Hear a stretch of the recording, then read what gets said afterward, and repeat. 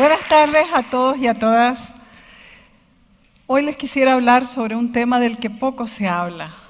¿Realmente a quién amenaza el machismo? Todos, todas sabemos que amenaza la vida de las mujeres. Es cosa de abrir los periódicos cada día, de ver las noticias para darnos cuenta la gravedad del problema. Pero ¿sabemos realmente cómo amenaza el machismo la vida de los hombres? Es un riesgo hoy día nacer hombre. El 80% de los homicidios que se cometen en el mundo, así como quienes perpetran los homicidios, son hombres. Es una estadística abrumadora. Realmente nacer hombre es un factor de riesgo. En Centroamérica es una situación particularmente grave. Nueve de cada diez personas que van a morir asesinadas son hombres. Uno de cada 50 hombres mayor de 20 años va a morir antes de cumplir los 31 años. Es decir, una gran mortandad de hombres jóvenes está ocurriendo en Centroamérica. Y la razón principal son los condicionamientos culturales que empujan a los hombres hacia morir demostrando su hombría. En Honduras, 91% de las víctimas de homicidio fueron hombres el año pasado. En Argentina igual, el 86% de las muertes por agresión corresponden a hombres y el 80% de los suicidios. Y en México, de 205 mil privados de libertad, el 95% son hombres. O sea, imagínense los riesgos de vivir la masculinidad de esta manera. Los hombres son víctimas del machismo, pero muchos no lo saben. Y si lo saben, callan por temor al rechazo, no hablan de este tema, no se discute este tema. Los hombres sufren el machismo cuando tienen que demostrarlo midiendo fuerza con otros hombres para ver quién tiene más poder. Y así corren el riesgo de ser heridos, mutilados, matados, privados de libertad, enfermados física o psicológicamente. ¿A qué se debe este riesgo abrumador que corren los hombres solamente por el hecho de serlo? A la creencia de que un hombre debe demostrar con la violencia que lo es, es decir, una masculinidad a prueba a través de la violencia. Existen fuertes condicionamientos culturales que influyen en la forma en que vamos educando a los niños con estas creencias, con estas mentalidades, desde la pequeña infancia hasta la vida adulta. El niño debe demostrar en los juegos, peleando, a ver quién es más hombre. A veces los padres le dicen, no te dejes de ese chavalo. Si te dejas, aquí te pego yo en la casa. Anda, golpealo. Y bueno, luego los jóvenes adolescentes en las pandillas se enfrentan todos los días en la región centroamericana y mueren por lo menos en El Salvador, en Guatemala, 20 jóvenes cada día. Y en gran medida mueren por razones de género. No se dice eso, se habla de la pobreza, se habla de aspectos de seguridad, se habla de la criminalidad, pero no se dice que, mueren midiendo fuerza con otros hombres para ver quién es más tuani, quién es más macho. Y eso es un factor muy importante del que queremos hablar esta noche. Se trata de morir como hombres. Y cuando ya estás muerto, ¿quién piensa que eres más hombre? La cultura patriarcal impone al hombre una duda sobre su identidad y le exige como prueba de su masculinidad distanciarse y apartarse completamente de las conductas consideradas femeninas. ¿Como cuáles? Como expresar emociones o sentimientos, como mostrarse empáticos al sufrimiento ajeno, como optar por el diálogo antes que por la confrontación, como renunciar a una venganza, por ejemplo, y muchas otras. Es decir, todo aquello que es considerado un signo de debilidad, algo femenino. Lo peor que le puede pasar a un hombre es que le digan mujercita, o sea que se parece a nosotras, o sea que somos lo peor. ¿No se han dado cuenta de que este es un insulto que también ofende no solamente a las mujeres, sino la dimensión humana de cada hombre? Porque eso que se llama femenino no es femenino, es humano. pero al hombre se le priva desde la infancia porque se le castra emocionalmente desde la infancia y se le aparta de su dimensión emocional. Cuando las emociones son reprimidas de esta forma, cuando un hombre no puede expresarse emocionalmente por miedo al que dirán, a menos que esté borracho, entonces, sí, entonces el hombre se va convirtiendo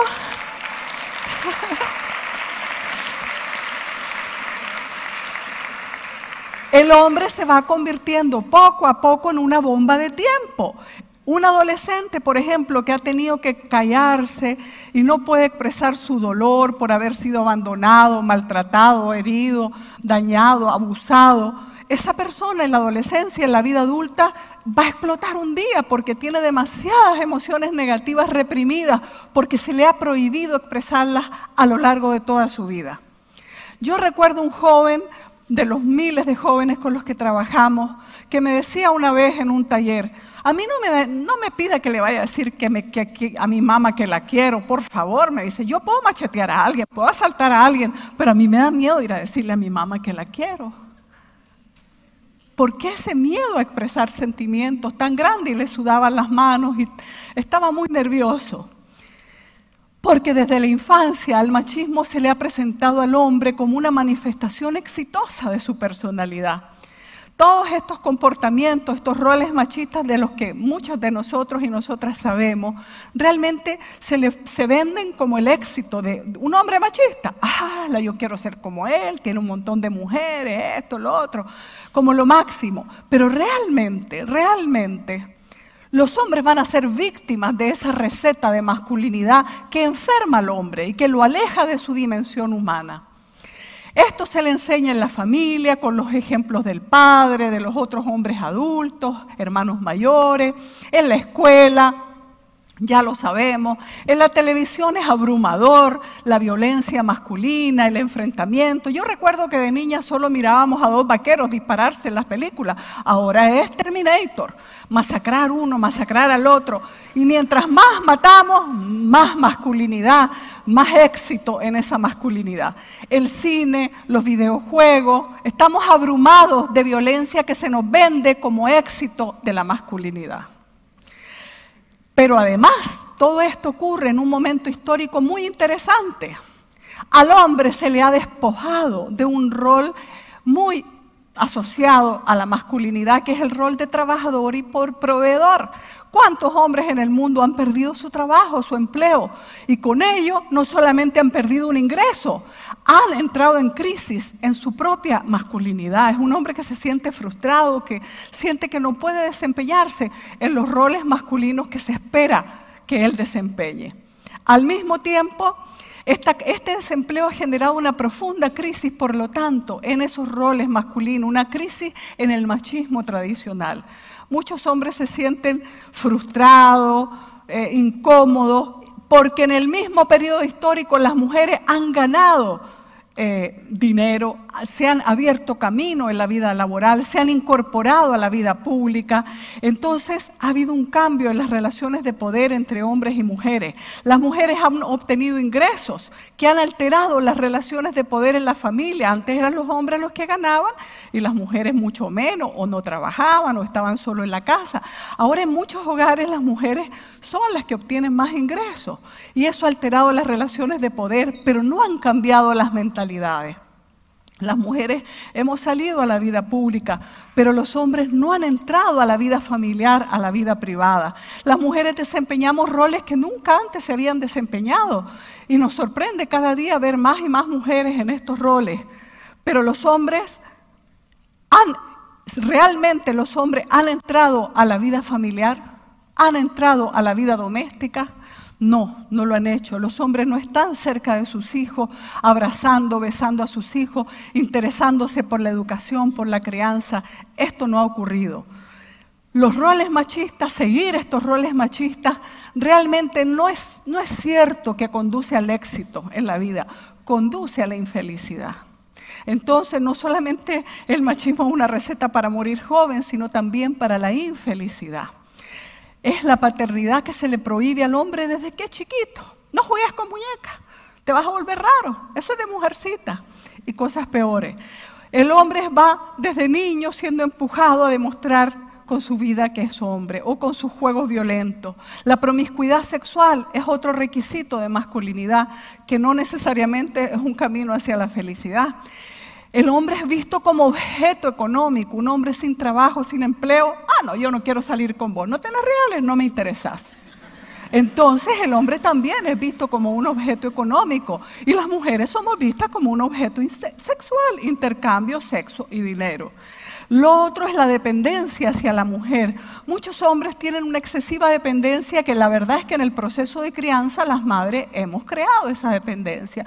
No, hijito, no la ves, no cocines, tu hermanita va a hacer todo, yo lo voy a hacer todo. Y eso le va impidiendo destrezas para la vida al hombre. Y la dependencia hacia el alcohol, porque mucho de las adicciones a las drogas, al alcohol, tiene que ver con esa represión emocional. Bajo los efectos del alcohol un hombre puede llorar y nadie le va a decir mujercita.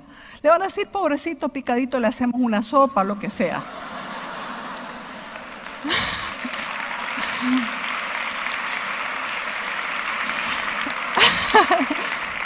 hay que tomárselo con humor, pero hay mucho dolor de por medio. Es urgente la liberación masculina del machismo. Así como se habló muchos años de la liberación femenina, llegó el momento de la liberación masculina. Es verdaderamente una necesidad. El hombre liberado del machismo tiene más autoestima. El hombre liberado del machismo es más capaz de dar y recibir amor. Este es un paso importantísimo. Nosotros hemos visto el cambio en miles de hombres. Al enfocarnos en una masculinidad eh, distinta, en una masculinidad libre de estos roles, hemos constatado en nuestro trabajo en el Centro de Prevención de la Violencia que las tasas de delito disminuyen rápidamente.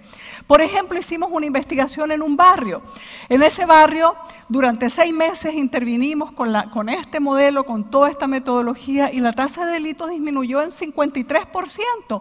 En el barrio de control aumentó en el mismo periodo de seis meses en 16%. Todos los delitos. Eso significa que esto puede funcionar y por eso nosotros creemos que debe ser considerada esta visión, este enfoque en la prevención de la violencia. Por ello mismo hemos capacitado en Guatemala, El Salvador, Honduras, Nicaragua, Chile, Argentina, Uruguay, México, Colombia, en varios países hemos capacitado a mucha gente, pero en Centroamérica tenemos 12.000 multiplicadores de esta metodología. ¿Qué pasaría, y esto quisiera preguntárselo yo a ustedes ahorita, qué pasaría, soñemos por un segundo, imaginemos que en Nicaragua nos despertamos mañana y en el 80% de los hogares hay un padre presente, pero no solo presente físicamente, afectuoso, cercano en los procesos de crianza a sus hijos, capaz de comunicarse con el corazón, con sus hijos, interesado en lo que pasa en la vida de sus hijos, tan cercano a los hijos como la madre. ¿Qué ocurriría en la familia? ¿Qué ocurriría en el país? Cuando yo hago esta pregunta, en muchos auditorios donde la he hecho, hay un consenso abrumador. Habría una profunda y decisiva transformación social. Menos violencia en la familia, menos violencia en las calles, menos delitos en general, menos presos en las cárceles, menos adicciones a distinto, a la droga, al alcohol, al tabaco, a todo lo que nos está destruyendo. Pero sobre todo, habrían cambios incluso aún más trascendentales, seríamos mucho más felices como sociedad, habría menos deserción escolar, mejoraría la salud pública, incluso habría un enfrentamiento mucho más efectivo a la pobreza. Porque la pobreza tiene que ver con esto, con estas creencias y con estas mentalidades que impiden el desarrollo humano, porque realmente afectan las relaciones familiares. ¿Cómo podemos lograr esto? Tenemos que empezar ya desde nuestros hogares, con nuestros hijos, con los niños más próximos a nosotros, en nuestras escuelas, en los entornos más inmediatos. Eduquemos a los niños para expresar libremente sus emociones. Enseñémosles a hacerlo no tengamos miedo de esto. No tengamos, perdamos el temor al que dirán. Ay, ¿qué van a decir si mi muchachito juega con muñecas? No, le vamos a decir, amorcito, estás aprendiendo a ser papá. Estás aprendiendo, como tu hermanita que está aprendiendo a ser mamá. Estás aprendiendo a ser papá. Pero perdamos el temor, porque hay mucho miedo al que dirán. Va, no va a ser fácil probablemente, pero vale la pena intentarlo. Cuando lo hacemos y vemos cómo, me acuerdo una amiga que me decía, yo nunca le regalaba muñecos. ¿Y qué hacía mi hijito? Agarraba el camioncito que yo le regalaba y chineaba el camión. Entonces los hombres sí tienen ese sentimiento de amor, pero lo vamos, les vamos impidiendo, prohibiendo desarrollarlo. Los gobiernos y la sociedad en general tienen los medios de comunicación una inmensa responsabilidad. No basta con que cada persona nos comprometamos, las instituciones deben empujar esto, sobre todo en las políticas educativas, en los medios de comunicación, en las políticas culturales. Debemos empezar a cambiar estos roles de género que tanto daño nos hacen a hombres y a mujeres. Yo quisiera decirles ahora algo más personal. Cuando yo tenía siete años murió mi padre. Era un emigrante que dejó su país y a su madre y nunca volvió a su país y nunca volvió a ver a su madre. Y sufría calladamente y yo lo veía distante, alejado. Era un hombre bueno, pero muy distante. Y la verdad, eh, hubiese querido yo saber qué había en su corazón que tanto le costaba expresar. Por eso dedico esta presentación a mi padre y a los hombres que como él sufren calladamente el machismo, sufren calladamente ese mandato cultural del machismo y que como él mueren tempranamente en gran medida a causa de ello. Muchas gracias.